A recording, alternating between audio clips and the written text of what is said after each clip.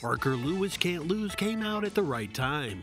The cookie cutter teen sitcoms of the era were definitely getting stale, and times were changing.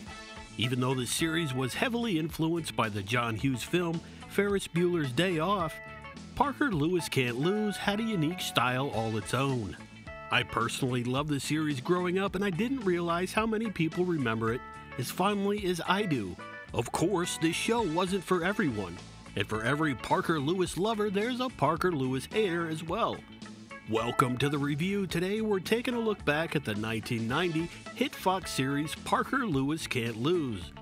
Learn the origins of the show, what made it so different from shows of the era, the wacky characters involved, and the legacy left behind.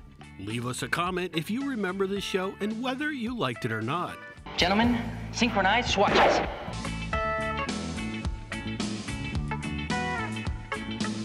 June 11, 1986, John Hughes released the movie Ferris Bueller's Day Off. The movie was massively successful, earning 70 million at the box office. So TV networks did what they usually do: turn a massively successful movie into a mediocre TV series. In fact, 1990 saw several of these bombs, like Uncle Buck, Parenthood, and a direct adaptation of Ferris Bueller's Day Off, which aired on NBC for one season.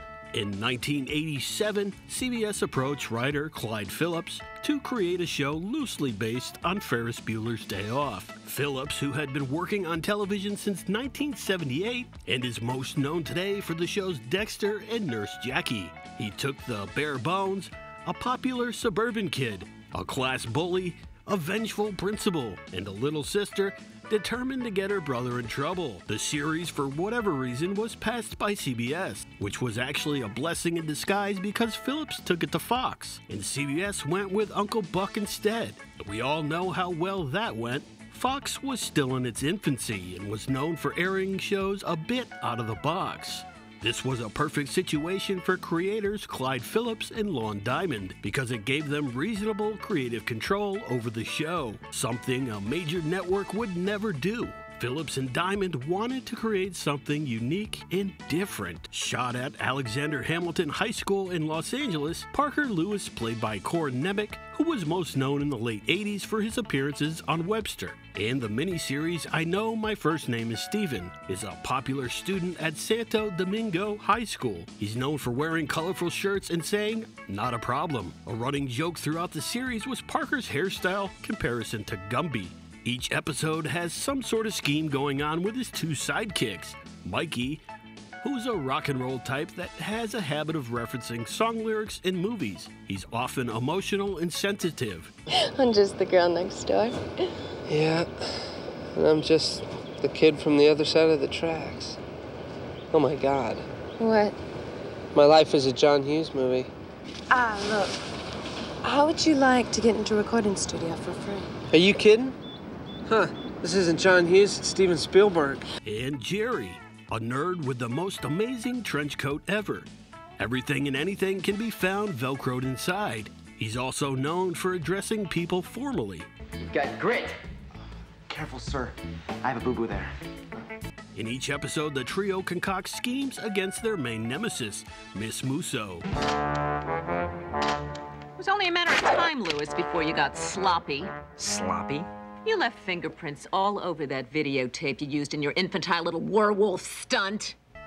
And her two lackeys, Frank and Parker's sister, Shelley. Miss Musso, played by Melanie Chartoff, most known as Didi Pickles on Rugrats, is the no nonsense principal of Santo Domingo, who puts all her effort into getting Parker expelled. She seems to have a magic thumb and constantly shatters the glass on her office door. How's it feel, Lewis? Knowing you're going to be expelled. Frank Lemmer is Miss Musso's right hand man, always clad in black and willing to do anything Miss Musso asks. Frank can also be summoned by Musso with a dog whistle and has the ability to teleport. Shelley, Parker's sister, often teams up with the pair to take down her brother for good. My brother's a dead man. Other characters include Parker's parents, Martin, played by Timothy Stack, and Judy, played by Mary Ellen Trainer. Time to do a Ferris Bueller. You know what? I gotta come clean. You guys saw right through me. I was gonna drop out, but this video, it really worked. You saved me. I'm the luckiest kid in the world.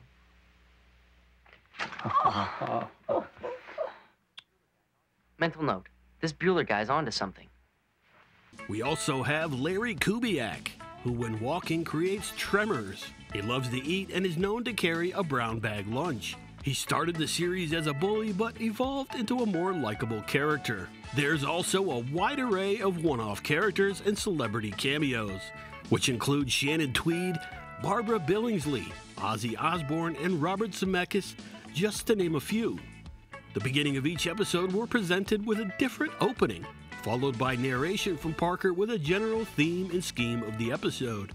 What made this show so different from anything else at the time was the use of cartoon like sound and visual effects, which made it feel like a live action cartoon, as well as breaking the fourth wall.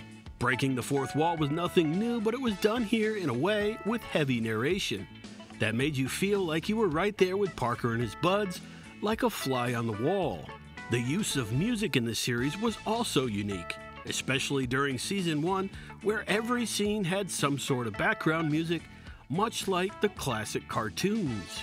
The use of pop culture references also made it feel like Santo Domingo existed in our world.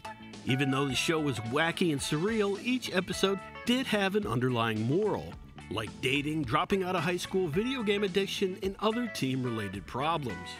Premiering Sunday, September 2nd on Fox, put Parker Lewis in direct competition with the massively popular 60 Minutes. On the surface, this may seem like a horrible idea, but Fox was strategic with this decision because their target viewing audience of ages 16 to 30 most likely didn't watch 60 Minutes anyways. Almost immediately, the media played up the competition between NBC's Ferris Bueller and Fox's Parker Lewis. But the two were not in direct competition because Ferris Bueller aired Mondays at 8:30 after The Fresh Prince of Bel-Air. Bueller! Cancel, Miss Musso. Lewis! The series got off to a slow start, but it wasn't long before a loyal viewing audience began to build.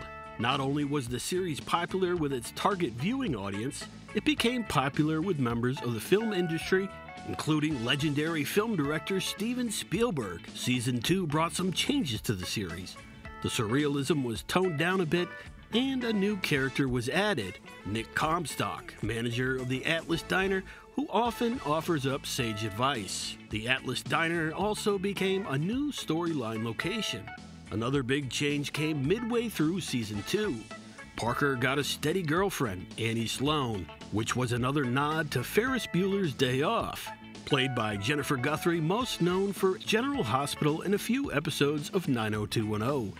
For a lot of fans, episode 19 marks the beginning of the end. The trio no longer set up elaborate schemes or synchronized swatches. Miss Musso lost interest in busting Parker, and Frank Lemmer seemingly disappeared.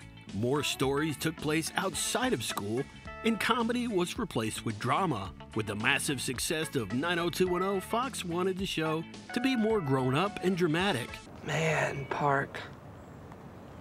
I don't deserve a best friend like you. You get what you deserve, Mikey.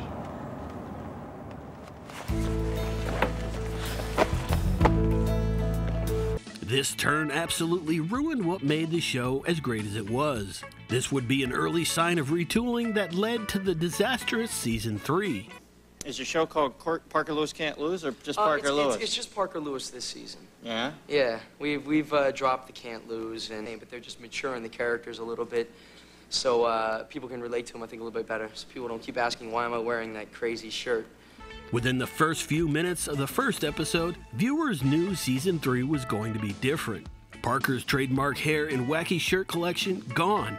Jerry's trademark magic trench coat gone. We're also informed that season 3 will take place in the summer, so the wacky high school hijinks gone. The perfect way to destroy a series is to take away everything that viewers loved about it. Of course, Parker and his buds couldn't stay in high school forever and eventually would need to grow up. But they definitely could have squeezed a third season in with the tried and true formula of the previous. Most fans of the show have blocked season 3 out of their memory. For me, rewatching the season, I couldn't remember a single storyline. So I either stopped watching it or there was just nothing memorable about it.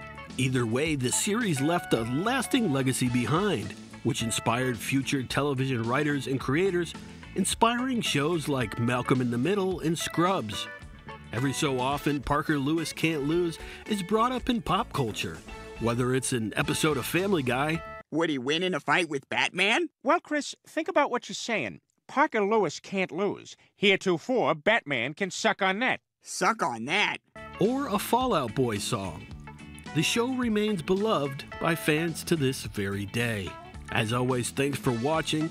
Leave us a comment about the series. We would love to hear your thoughts. Also, for our regular viewers, would you like to see more of these in depth looks at classic TV shows or not?